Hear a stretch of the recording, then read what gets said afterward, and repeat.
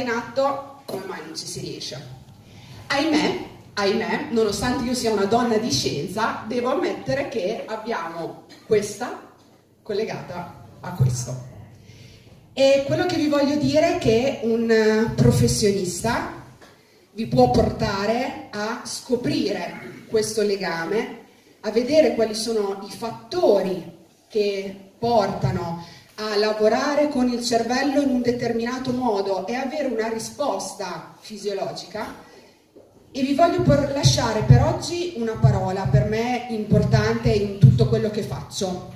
Se potessi me la tatuerei tipo in fronte, e, mamma tranquilla non far mai, non ti preoccupare. E, ehm, consapevolezza, ok? Consapevolezza, se guardiamo un attimo l'etimologia, significa con sapere. Consapevolezza ci vuole nell'estetica, perché se io ho un obiettivo estetico devo sapere come raggiungerlo e devo sapere cosa mi aspetto da questo obiettivo, perché sto ricercando questo obiettivo estetico. Consapevolezza ci vuole nella salute, perché mh, mm, se mi devo prendere cura della mia salute lo devo volere veramente e devo mettere in atto tutte quelle informazioni che ho googolato la sera mentre sono sul divano. Consapevolezza sta allo sportivo, sta alla performance, perché uno sportivo deve essere consapevole dei suoi limiti, di quello che può raggiungere, di quello che può fare.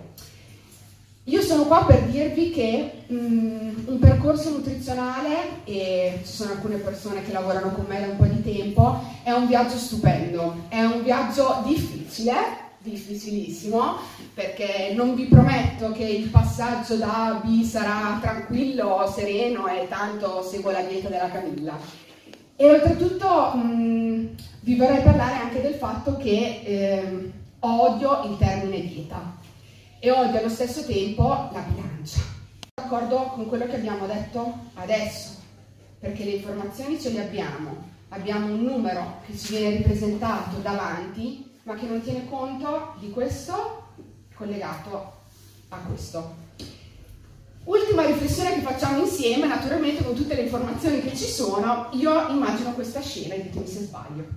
Apro Instagram, apro Facebook, mm, Google, vado su Google e guardo che lo zenzero fa bene, la curcuma fa bene, i semini di tutti i tipi vanno bene, quindi io mi immagino col carrello a fare la spesa, ok, allora la curcuma l'ho presa, il limone la mattina con l'acqua calda l'ho presa, i semi li ho presi, arrivate a casa, riempite la vostra dispensa e dite, bene, adesso metto tutto nella pentola e provo a vedere se fuori ci viene una dieta, un'alimentazione corretta?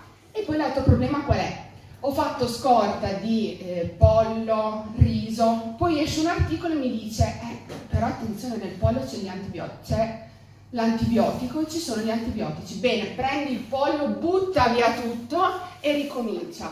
Ci sono io per questo, non è un compito vostro barcamenarvi in mezzo a queste informazioni che ci vengono bombardate.